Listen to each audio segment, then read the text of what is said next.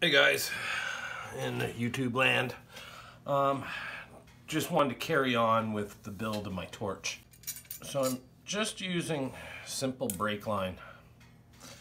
And this is kind of has a copper coating. There is two different types. And this particular one is uh, 3 16ths OD and 1 8 ID. So the 1 8 ID will allow for very little clogs. And what I did was I, I uh, made it to the required length that I wanted.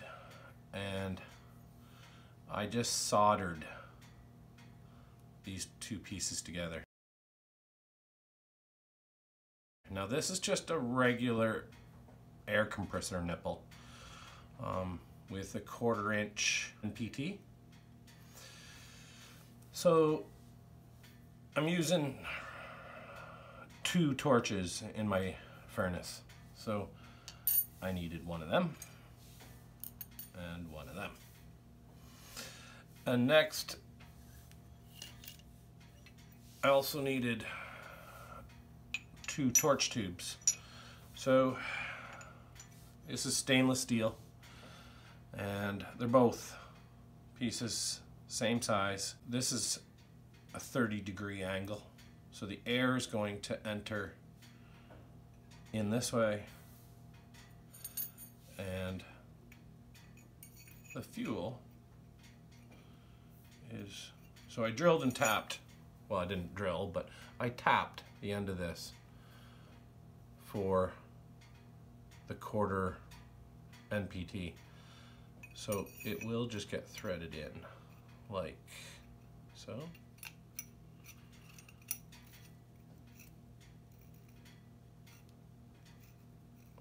And the end of the fuel line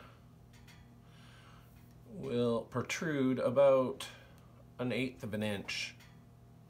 I haven't got this threaded all the way down, but the problem I'm having is it's hard to keep this maintained in the middle. So the idea I've come up with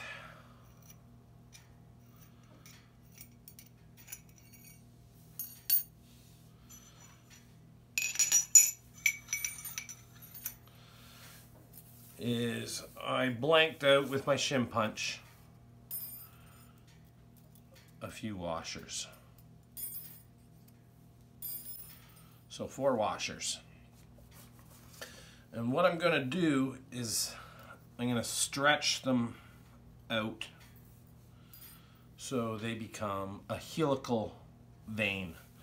So just like this, I'm going to stretch.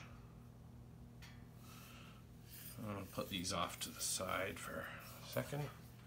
And just where with my fingers, I'll start it. And then with a pair of vice grips, I grab this one out. And with another pair of vice grips,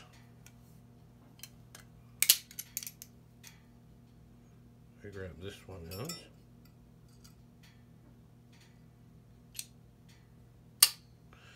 And I just stretch. And as I'm stretching, I'm also twisting. And I'm going to twist this up and keep stretching it.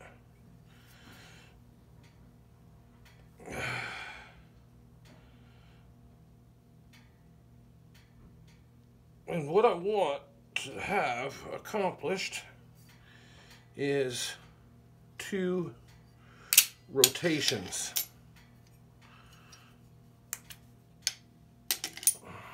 So when I slip this on, it becomes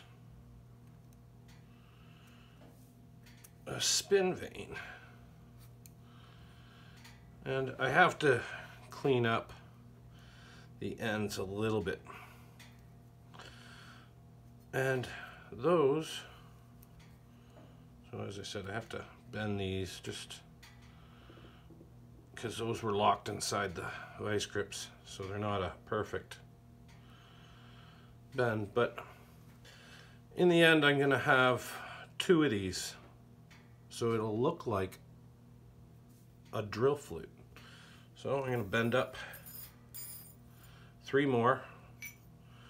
So I have one for each or two for each torch and then I will insert these in. So as the air comes in through the torch tube, it won't be able to get out the backside, and if a little does, it'll be getting through the threads, and that's not enough that I'm worrying about. But the air will come in through the 30 degree, come down, start spinning, and since this is flared brake tube, there's going to be a little bit of a Bernoulli effect, if I'm saying that correct. So it will, the air will rush and flow faster around and then want to collapse the fuel. And that will start atomizing it. And it will be spinning at the same time. So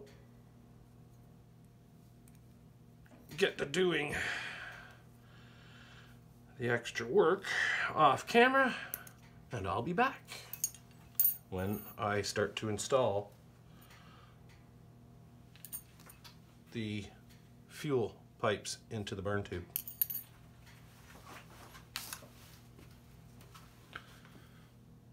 I have my shim punch here on the floor and over here on the bench I have what are called as shim punches.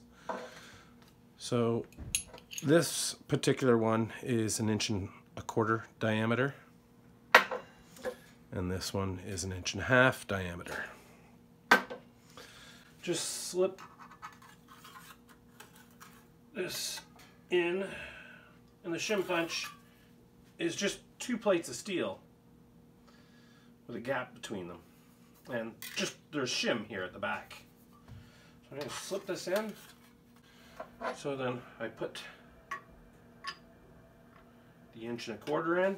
I like to try to get it in one hit.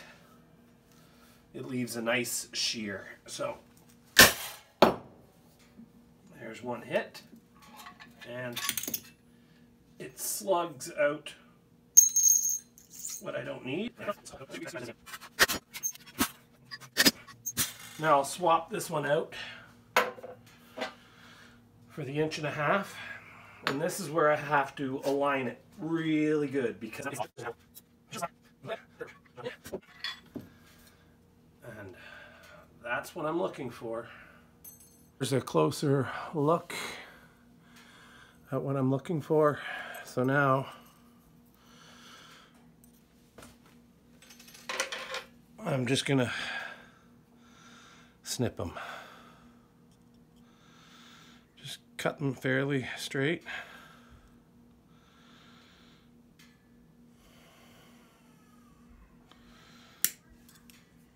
And that's what I'm looking for now. So I got them all stretched off camera. And uh, this is what it looks like. So this one is already installed and it's got a little bit of a kind of a two flute drill effect. So this is how I put them together. I just kind of wrap them around slowly.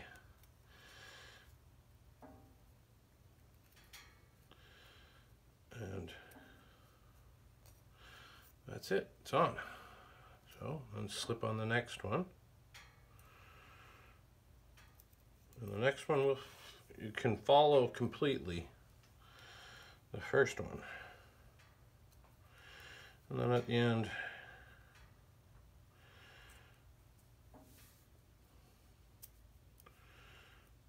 so that's the two of them side by side. And then just with a little spin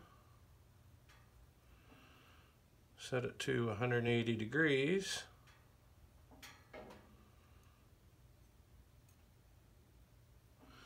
And that's it. Next, you take them and you corkscrew them into the tube. So in case they catch any burrs, let's try to keep them in place. Bring it down. Start the threads up oh so ever nicely. Got a wrench on there.